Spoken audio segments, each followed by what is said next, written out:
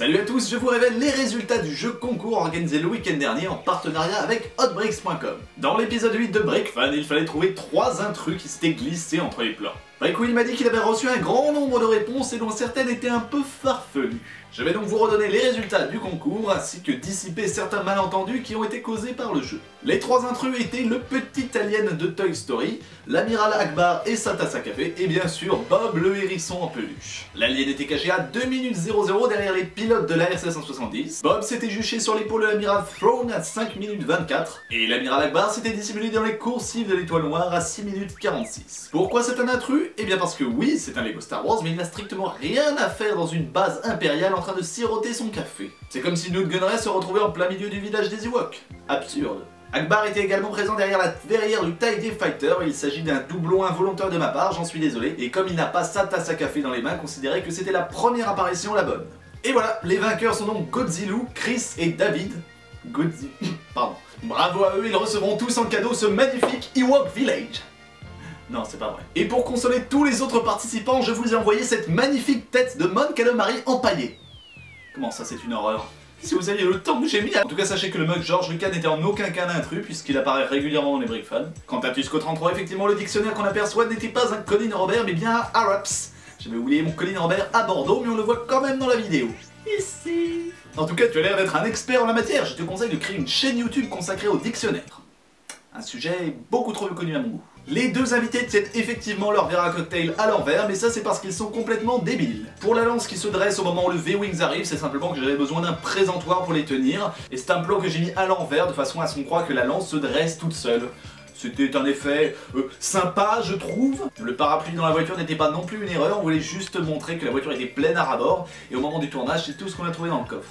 La DeLorean était quand même un peu trop visible pour être un intrus, il s'agissait tout simplement d'un clin d'œil pour aller avec la musique. Cette partie de l'univers étendu n'était pas un jeu, mais une métaphore pour montrer à quel point dans l'univers étendu, la logique est parfois mise à mal. Quant à la bestiole qui avale Boba Fett, c'était le Sarlacc, et je suis extrêmement vexé que vous n'ayez pas apprécié mon dessin à sa juste valeur. Quant à la rose qu'on voit sur la boîte, c'était un faux raccord volontaire dont on a eu une idée avec euh, Martin, la personne qui joue le vendeur. Au moment du tournage, on trouvait ça très drôle. C'est souvent comme ça, quand on tourne, sur le moment, on s'amuse à trouver des trucs qu'on trouve hilarants. On peut s'arranger. Ah. Ouais. Ah. Oh. Ah.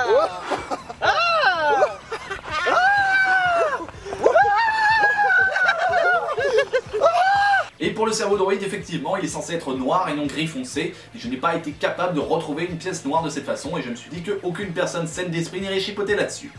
N'est-ce pas, JRR Hollande? Et pour finir, le message subliminal du générique était Peter Jackson est gros, et c'était une blagounette destinée à la personne de l'eau se trouvait au-dessus. Le magasin Rogello est en fait la bijouterie Rosello qui se trouve au 1 place Saint-Michel-des-Lions à Limoges. Il s'agissait donc en rien d'un intrus, c'était juste une boutique en fond. Et non, le suite à capuche Université de Limoges n'est pas un fake, car oui, il y a bel et bien une université à Limoges. Il y en a même plusieurs. Voilà pour les réponses et clarifications, si ça vous amuse, sachez que je planque très régulièrement des petits détails dans les Brick Fans, notamment l'alien de Toy Story qui arrive de temps en temps, et le hérisson qui je crois revient tout le temps même dans cette vidéo. Je remercie Will de Hotbrick de m'avoir proposé de faire ce petit jeu afin de rajouter un peu d'interactivité et de permettre à d'autres personnes de découvrir la chaîne YouTube. Il est probable qu'on remette ça au prochain épisode. Prochain épisode qui sortira le, allez, on va dire le 16 mai, donc dans un peu moins d'un mois. Ce sera le dernier Break Fan de la saison, après je prends des vacances, et il sera en deux parties qui sortiront à un mois d'intervalle comme pour les TIE Fighters. Quant au thème, ça concernera un épisode de la trilogie originale. Je vous en dis pas plus, mais sachez qu'il y avait un indice caché dans cette vidéo. Non, je déconne. En tout cas, merci à tous les participants pour avoir joué le jeu, j'espère que ça vous a plu. Merci aussi pour l'accueil de l'épisode 8 en lui-même. Et merci pour les 991 abonnés du coup, rendez-vous le 16 mai, d'ici là, éclatez-vous, passez du temps sur internet, regardez Star Wars, jouez au Lego et que la force soit avec vous. Ciao